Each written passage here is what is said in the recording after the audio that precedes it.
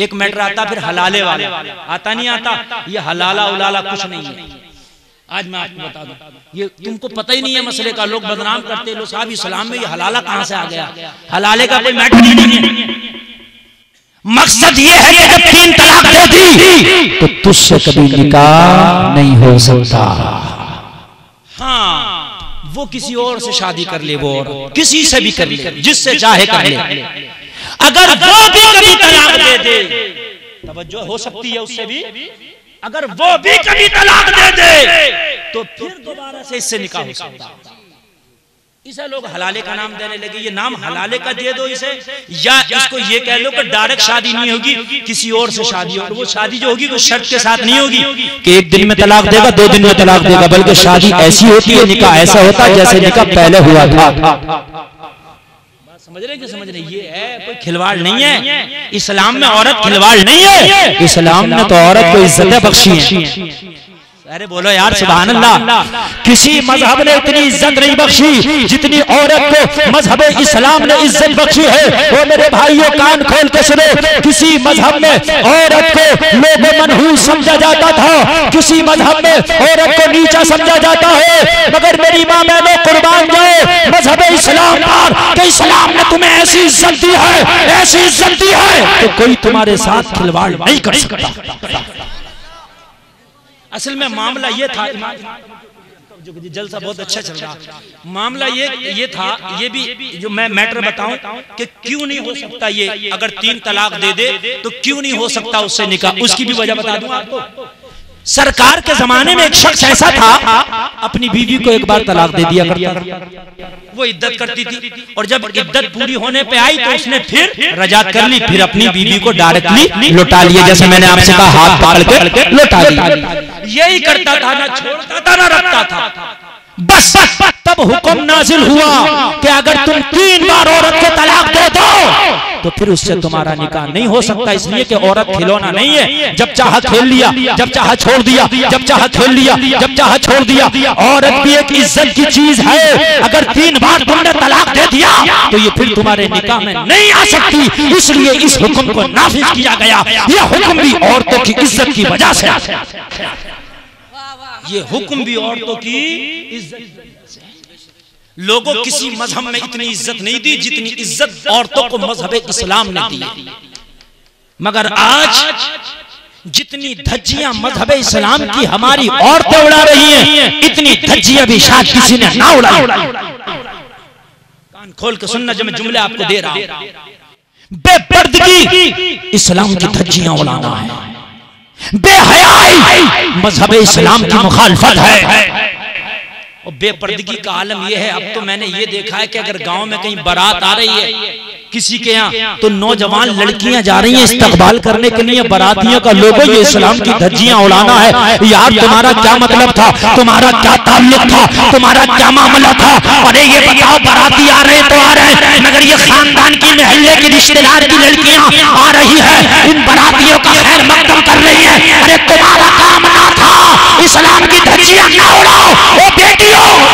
इज़्ज़त मज़हब इस्लाम ने दी है, और अगर तुम इस्लाम ही की धज्जियाँ उड़ा दोगी तो मुझे बताओ तुम्हारे पास रह क्या जाएगा?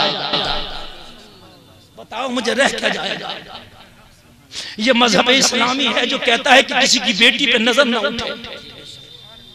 ये मज़हब इस्लामी है जो हज जैसी पवित्र यात्रा पे भी अगर कोई बेटी जाए तो मज़हब इस्लाम कहता है कि कोई गैर साथ में ना जाए, या तो शोहर साथ में जाए, या बेटा या बाप या सगा भाई साथ में जाए। कैसी हिफाजत की है मज़हब इस्लाम ने इस औरत की?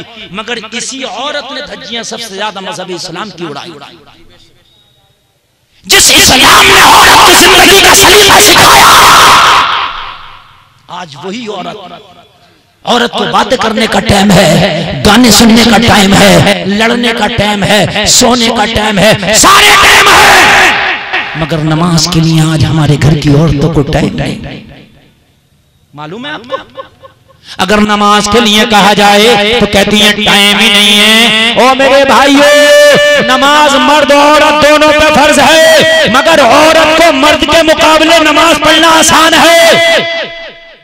बराबर फ़र्ज़ है। कोई कमी नहीं है। औरत छोड़ेगी तब उतनी गुनागार मर्द छोड़ेगा तब उतना गुनागार मगर मैं पढ़ने की बात कर रहा हूँ कि औरत पर मर्द के मुकाबले आसान है। क्यों? इसलिए आसान है कि औरत तकरीबन 24 घंटा घर में रहती है। अपने घर में मुसल्ला भी है वॉशरूम भी है वज़ू खाना भी है टंकी भी है टोटी भी है। बात है कि नहीं है कपड़ा खराब है तो दूसरा कपड़ा भी है। इंसान कभी मुरादाबाद मर्द कभी मुरादाबाद जा रहा कभी दिल्ली जा रहा, कभी सफ़र में है, कभी खेत में है, कभी जंगल में है। बात है कि नहीं है? कहीं मुसल्ला नहीं है, कहीं पर पानी नहीं है और कहीं पर और मजबूरियाँ हैं। हालाँकि मजबूरी कितनी भी हो, नमाज़ कभी नहीं छोड़ने की इजाज़त है। कितनी भी हो, कुछ भी छोड़ दे, ट्रेन छोड़ दे, प्लेन छोड़ दे, मगर नमाज़ छोड़ने की इजाज़त नहीं है। मगर मेरी माँ बहनों के लिए नमाज़ पढ़ना अगर चाहे तो मर्दों के मुकाबले आसान बात है कि नहीं?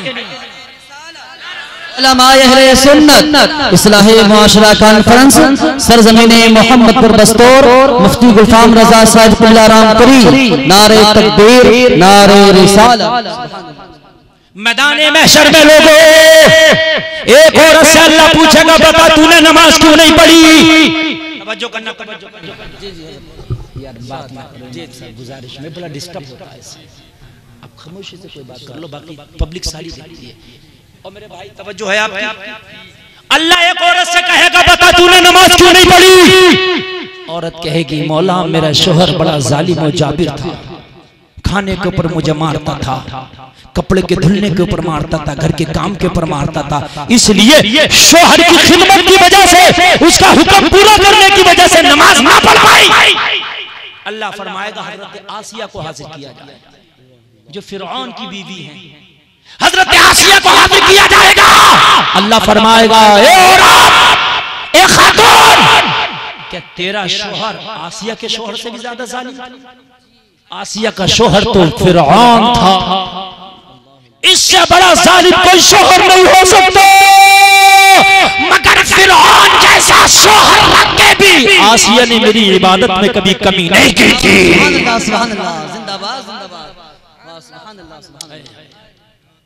जरा बताइए। एक शख्स को बोला जाएगा इधर तूने नमाज़ क्यों नहीं पढ़ी थी? तवज्जो करना तवज्जो करना। तूने नमाज़ क्यों नहीं पढ़ी? क्यों नहीं पढ़ी थी? तो अर्ज़ करेगा मौला, मैं तो बड़ा बीमार रहता था। मौला, में तो इतना बीमार रहता था कि सर्दी में बहुत सर्दी लगती थी, बड़ा ही कमज़ोर था। अल्लाह फरमाएगा, मेरे अयूब को बुलाओ। हज़रत अयूब सलाम 18 साल तक बीमार रहे। इतनी तकलीफ़ होती थी चीखें निकलती थी चीखें। हज़रत अयूब को इतनी तकलीफ़ की चीख निकलती थी। अयूब को बुलाया जाएगा। हज़रत अयूब को बुला के कहा जाएगा, ए मेरे बंदे, सुन, ये मेरा अयूब नबी है। इसे मैंने इतनी तकलीफें दी थी। तकलीफ़ की वजह से इसकी चीखें निकलती थी, मगर मेरी इबादत करना कभी नहीं छोड़ता था। हाय पता इससे ज़्यादा तुझे तकलीफ़ थी? अर्ज़ करेगा, मौला, इससे ज़्यादा नहीं थी। हाय कोई तूने नहीं कहेगा, मौला, मुझे खौफ था। मुझे डर था मैं इस वजह से नहीं पढ़ा इसकी वजह से नहीं पढ़ा उसकी वजह से नहीं पढ़ा हुसैन की रूह को बुलाया जाएगा। यहाँ तो बाईस हज़ार तलवारें थी। मेरे हुसैन के खून के प्यासे थे। तलवार भाला लेके खड़े थे। मगर अली का बेटा हुसैन फिर भी सजदा कर रहा था। लोगों कहाँ से जवाब? मुझे बताओ जरा कहाँ से जवाब?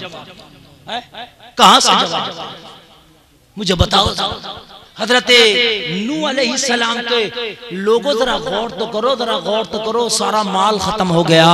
हज़रत नू का जितनी दौलत थी सब खत्म हो गई। हज़रत नू हज़रत अयूब के अयूब के हज़रत अयूब के सारा माल खत्म हो गया। जितने मवेशी थे सब इंतकाल कर गए। खुद हज़रत अयूब भी बीमार हो गए। एक दिन शैतान आया कहने लगा "अय्यूब, तू उस रब से इतनी मोहब्बत क्यों करता है? उस मौला को इतना क्यों मानता? जिसने तेरा माल ले लिया जिसने तेरे सारा चीज़ ले ली तुझे बीमार भी कर दिया। हज़रत अय्यूब ने फरमाया "ओ सुन, जान मेरे रब की थी ले ली तो मेरा क्या लिया? माल मेरे रब का था ले लिया तो मेरा क्या लिया? अरे ये जिस्म भी उसी रब का है। वो चाहे तो खुशहाल रखे वो चाहे तो बीमार रखे। अयूब का काम तो हर हाल में उसका शुक्र अदा करना है। हर हाल में उसका शुक्र अदा करना।